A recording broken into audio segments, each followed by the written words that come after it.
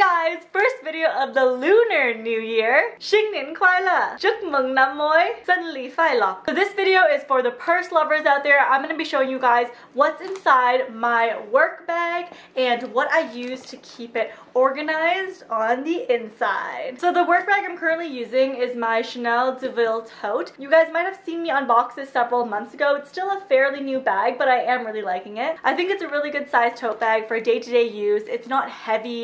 It's really comfortable and conforms really easily. The only downside is when it's raining because there isn't a zipper to zip across the whole top. There's only just a little magnetic button and that doesn't really protect from the sides getting in rain. Luckily it doesn't rain too much in Toronto, but if you live in a rainy climate, do not recommend this type of tote bag. So while I love a good tote bag, obviously sometimes things can get messy inside, so I do tend to gravitate towards bag organizers when I am using a tote bag. The only downfall of using a bag organizer is that while all your items are very nicely organized, you're not able to stuff as much in here as you would if you didn't have a bag organizer. So like if I took out this organizer and just threw all my items in there, I could probably throw in a pair of shoes and a sweater and whatnot, but because this organizer keeps everything standing up, there isn't a lot of room to be stuffing things in there. So first things first, my work laptop is in here. For carrying around to meetings and whatnot, I have this smaller 13-inch uh, MacBook Air, I believe it's what it is. And this one's just really light and a lot easier to carry than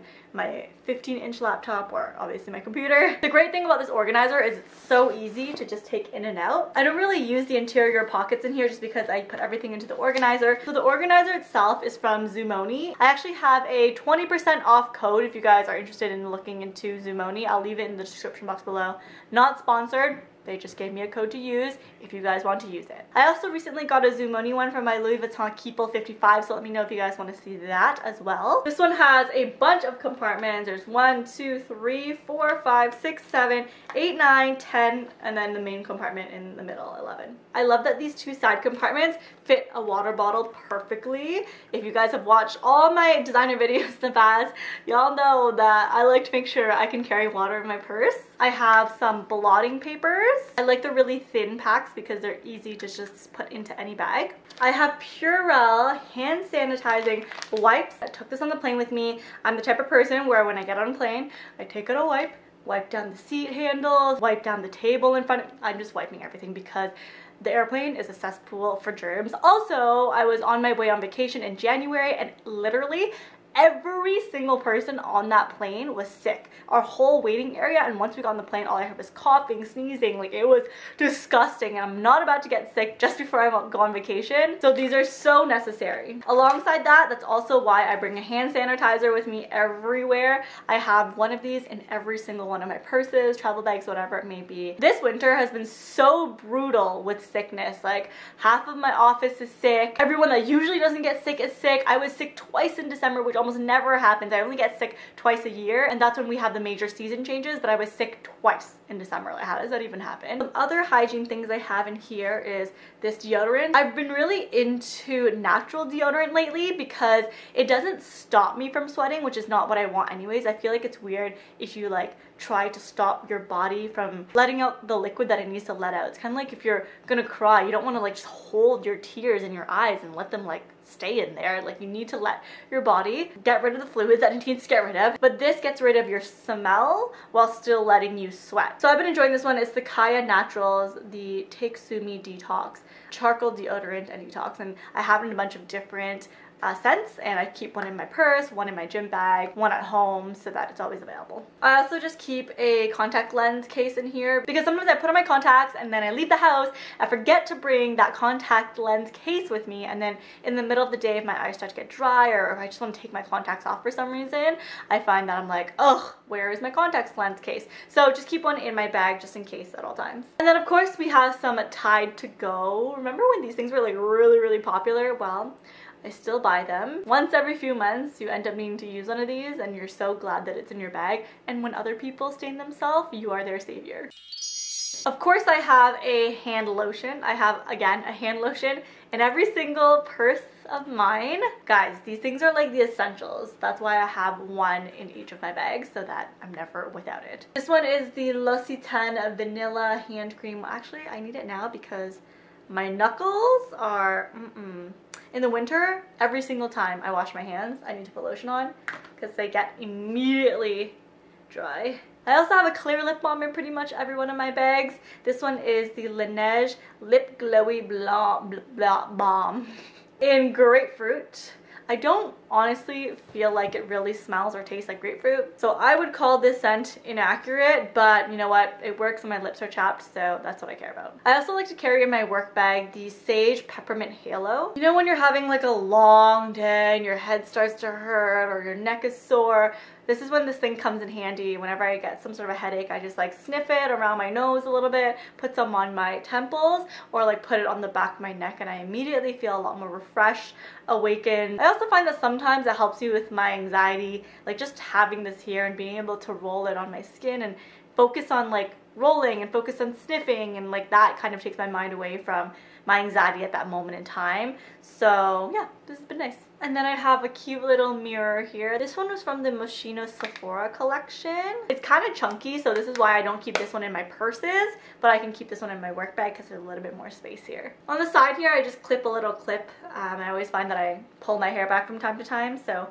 Nice to just have that there. In this main compartment, I carry only two things in here and it's only ever these two things in here. It's my card holder, so I don't really carry a wallet anymore. I don't bring cash on me and I'm always just using cards, so I feel like a card holder is way thinner, less bulky, less big. And if it's exactly what I need, just my cards. This one's from YSL. Jen got me this as a gift. I think maybe two, three years ago as a birthday gift. And then I have this bag for all my medicine. I am a walking pharmacy because my anxiety is bad and having medicine helps me feel like it's okay. I can use it whenever I need it and it'll always be there for me. So I always carry with me Pepto. I always carry with me my anxiety medication. I always carry with me Imodium because I always have stomach problems. And, oh, and Zantac yeah, those are the four that I always carry with me because it's mostly to do with my stomach.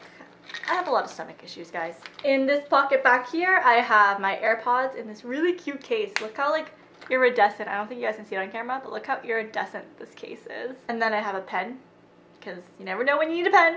And when someone's in a room with you and like, oh, does anyone have a pen?